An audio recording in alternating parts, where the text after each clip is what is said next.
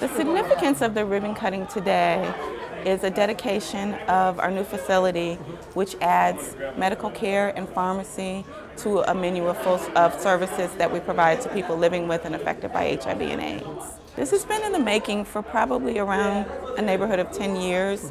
We've wanted to add medical care and pharmacy services to our menu of services, and through our affiliation with the AIDS Healthcare Foundation, we've been able to do that today.